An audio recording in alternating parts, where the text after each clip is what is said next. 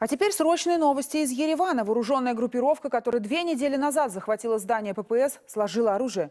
Об этом сообщили официальные представители полиции. 20 человек, которые сдались правоохранительным органам, задержаны. Трое раненых доставлены в медицинский центр. Ранее были освобождены все сотрудники скорой помощи, взятые в заложники несколько дней назад. В последние дни захватчики понесли серьезные потери. Несколько человек были ранены, часть сбежала. Из первоначальных 30 членов вооруженной группировки оставалось только 20. Решение о сдаче радикалы приняли после длительной осады и предъявленного им ультиматума. Напомню, здание ППС было захвачено 17 июля. При штурме погиб полицейский. Вооруженные люди требовали освобождения своего лидера Жирайра Сефиляна, который арестован за незаконное хранение оружия.